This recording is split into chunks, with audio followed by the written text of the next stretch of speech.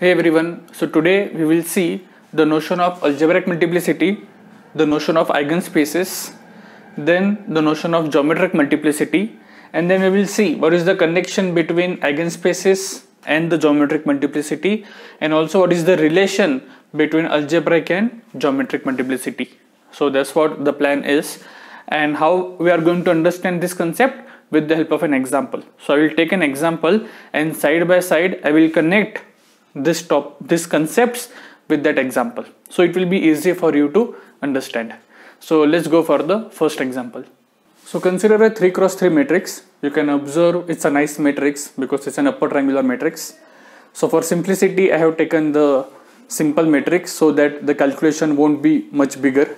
So whenever you see a question on algebraic geometric or eigenspaces your first step is you will find the eigenvalues for the given matrix okay? How do you find the eigenvalues? You know that you try to solve the characteristic equation. What is characteristic equation? Now now once you find the eigenvalue now comes algebraic multiplicity in the picture. So what is algebraic multiplicity? So it is related with an eigenvalue. So you take lambda equal to 4 now you see how many times this 4 is repeated. Then that number is called as the algebraic multiplicity so algebraic multiplicity for lambda equal to 4 is how much? 1 because 4 is occurring only once. What is algebraic multiplicity for lambda equal to 7? As you can see 7 is repeating twice therefore algebraic multiplicity is 2. So it's very simple. Once you find the eigenvalues just see how many times it, it is getting repeated that's all. Okay so good. Now we have the eigenvalues. We have the algebraic multiplicity. Good. So we are done with the first notion. Now what do you do? You first find the eigenvectors. So let's do one by one. Let's first find the eigenvector for lambda equal to 4 how do you find? You solve this system a minus lambda i into v bar equal to 0 bar. So if you do this over here you get 0 5 6 0 3 0 0 0 3 into v1 v2 v3 equal to 0 bar. 0 bar means 0 0 0 and here if you try to solve your v2 will be 0 your v3 will come out to be 0 and you won't get any condition on v1 okay? So therefore what is your v bar? Your v bar is nothing but v1 0 0 and you can take out v1 outside it is 1 0 0 wherever what is v1 it is a non-zero real number because we always take the non-zero eigenvectors so you take all multiples of 100. That means you take all vectors on the x-axis in my three-dimensional space except the origin because it is multiple of 100.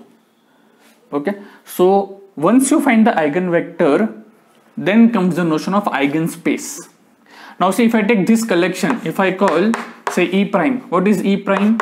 It is collection of all eigenvectors for lambda equal to 4. V1 is what? It's a non-zero real number. Now you can see this is clearly a subset of R3 because we're in a it's a 3 cross 3 matrix so our domain is R3 so even E prime is a subset of R3 but is it a subspace of R3 no it's not a subspace. Why? Because zero vector is not here. In a sub in a space you should always have a zero vector. So since zero vector is not here therefore it's not a subspace you can check that the vector addition and scalar multiplication will be satisfied but the only problem is the zero. Okay? Scalar multiplication also the non-zero scalar multiplication. So since zero is the problem so what you do is you call e as e prime union zero vector. You attach zero vector to this set. Then your this forms a subspace. Or in other language what is my e? My e is nothing but so whenever you have a set which is not a subspace, what you take? You take the span of that set because spanning of a set is always a subspace. So what is your E? It is nothing but you take the span of E prime. Or in other words, in this scenario, it is span of which vector? 1, 0, 0. And then this forms a subspace of R3. And this is a nice subspace. I mean, we give it a name to this and the name is eigenspace. So eigenspace is nothing but so eigenspace is always associated to an eigenvalue, same as the algebraic multiplicity. So eigenspace E. So you will write E eigenspace for lambda equal to 4. So what is eigenspace for lambda equal to 4? It is the spanning of this set. Okay, and that's why the word space. Eigen because of this eigenvectors and all, and eigenspace because it forms a subspace of R3. Okay, so that's what we mean by the eigenspace and then comes the geometric multiplicity. So now since it is a space, whenever you have a space, you can talk about the basis, you can talk about the dimension. And now here as you can see, your space is nothing but it's a span of only one vector, 1, 0, 0. That means what? What is the basis? This acts as the basis. So basis has only one vector. So what is our basis in this case? It's only one vector, 1, 0, 0 and therefore what is the dimension? So dimension of an eigenspace for lambda equal to 4 is nothing but 1 okay because there is only one vector. So geometric multiplicity is nothing but the dimension of the eigenspace. Your geometric multiplicity is nothing but the dimension of the eigenspace or in other words your geometric multiplicity is nothing but it's the number of linearly independent eigenvectors for a given eigenvalue. Okay? So in this case as you can see there was only one vector. Therefore you can say the geometric multiplicity is 1 if they ask you basis you can say that this is the basis. Or since it is only one linearly independent eigenvector therefore the dimension is 1 that is geometric multiplicity is 1 that is one way. Other ways also is you can see the number of free variables. Now in this case, I erased over here. I wrote v1 into 100. So what was my v1? It was a free variable. So since number of free variable is 1, therefore geometric multiplicity is 1. That's not a good way to tell, but just for the understanding purpose, I have told you in terms of free variable as well. But if someone asks you what is geometric multiplicity, it is number of linearly independent vectors. Okay, because eigenvectors are infinite but how many linearly independent are there? It is only 1 0 0 because all others are multiple of 1 0 0 so yeah that's what the notion of geometric multiplicity is.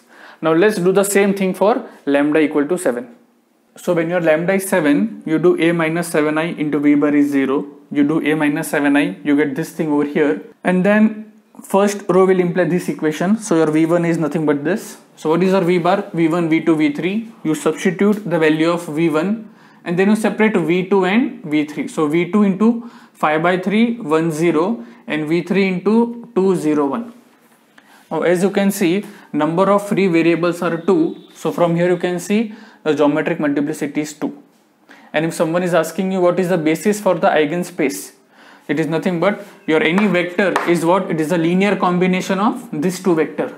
Therefore this you can see they are independent. You can check these two vectors are independent. So your v bar is nothing but the linear combination of these two vectors. So what is your e?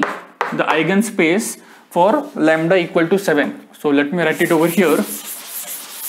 So your eigenspace for lambda equal to 7 is nothing but it is the span of which vectors? It is the span of 5 by 3 1 0 comma 2 0 1 and this is eigenspace and these two are the basis and therefore what is the dimension? Dimension is nothing but 2 dimension is geometric multiplicity for lambda equal to 4 always sorry 7 always write down for which lambda this is a geometric multiplicity. If you only write this much then it does not make sense. Though here you are continuing for lambda equal to 7, but it's a good habit to write down gm for lambda equal to 7 is 2. Okay, so that's what the geometric multiplicity is and the eigenspace is. Okay, now let me just give you the upshot. So algebraic multiplicity is the number of times the lambda will occur once you find the roots for the characteristic equation. Your eigenspace is for this eigenvalue you find the eigenvectors. Then you take the span of those eigenvectors. Then that is nothing but the eigenspace because span will form a subspace and that's why that space comes into here. Once it's a subspace you can talk about the basis and the dimension. So dimension of eigenspace is nothing but the geometric multiplicity for the lambda. So it is nothing but it's the number of linearly independent eigenvectors for the eigenvalue lambda okay? Now here you can observe at the start i wrote this is nothing but the kernel of a minus lambda i. Why so? Because what is the definition of eigenvalue eigenvector? It is av equal to lambda v. If you take this on the left hand side if you recall my first lecture on eigenvalue eigenvector this is what we have right? Now this is a this is a system of linear linear equations. And what we do we take the determinant of this to be 0 so that we get some lambda and we get a non-zero eigenvector. So this implies what? Your v bar is where? It is in the kernel of this. It is in the kernel of a minus lambda i. Or the null space. Null space is a different word. So you can recall if tv bar equal to 0 this means what? Your v bar is in kernel of t. Now here a minus lambda i into v bar is 0 that means v bar is what? It is in the kernel of this so that means what and what was your v bar? It was the eigenvector. So eigenvector belongs to the kernel of this. Okay? And therefore your eigenspace is nothing but this set only. Because if something is here that means it is an eigenvector. That means it is in the eigenspace. And if something is an eigenspace means what? This product is zero. That means it is in the kernel. Okay? So to say that to talk about the eigenspace of lambda is nothing but you are actually calculating the kernel of this map or the this linear operator. Okay so that's why many times we will say that people will define eigenspace as the kernel of a minus lambda i or the null space of a minus lambda i. And then the dimension of this dimension of kernel of a minus lambda i is the geometric multiplicity. So if you see this somewhere in some book then don't get confused it's the same thing so we saw what is the connection between the geometric multiplicity and the eigenspaces. Now let's see the final connection between the algebraic multiplicity and the geometric multiplicity. So there is a very nice theorem which says that for an eigenvalue lambda, its algebraic multiplicity is always greater than or equal to geometric multiplicity. That means what? Your geometric multiplicity never exceeds the algebraic multiplicity. And we always have a one non-zero vector because that's how we find the lambda. Therefore it is always greater equal 1 okay so this is a very nice relation that one should know. So for example suppose you have some matrix and suppose for that the eigenvalues comes out to be say 3 3 4 and say 6 6 6 6 well, let me take some say different number 9 so now what is algebraic multiplicity for lambda equal to 3 it is 2 because 3 is coming two times what can you say about the geometric multiplicity? Since it is always greater equal 1 and less equal 2, so it can be either 1 or it can be either 2. What can you say about the algebraic multiplicity for lambda equal to 9? It is 1 because it is coming only once. What can you say about the geometric multiplicity? So 1 less equal geometric less equal 1. So your geometric is precisely 1. It don't have any other choice. What is the algebraic multiplicity? for lambda equal to 6 it is 4 because it is occurring 4 times. And what is the what can be what can be the geometric multiplicity? It can be either 1 or 2 or 3 or 4 so these are the four choices your gm can have. Okay? It will all depend on the matrix but i have just told you the possibility. If someone if sometimes matrix is not given to you then with the help of this relation you can at least tell what are the possibilities for the geometric multiplicity once you know the algebraic multiplicity. So I hope the concept of algebraic and geometric multiplicity is clear as well as the notion of eigenspace. Now let me give you an homework problem so that you can comment that answer in the comment section. So here are the two homework problems. I have given you very simple matrix. Actually if you know good thing about the Jordan form and all those things you can directly tell me the answer. But it's okay. Just tell me what is the eigenvalues eigenvectors geometric multiplicity and the algebraic multiplicity. Tell me this for this matrix. And suppose you have a matrix whose eigenvalues are pi pi pi e e. Tell me the algebraic multiplicity as well as the possibilities for geometric multiplicity. Okay? So that's what the homework is. I expect you to comment your answer in the comment section and if you have any other doubt then you can ask me that as well. And if everything is clear do not forget to like share and subscribe. Thank you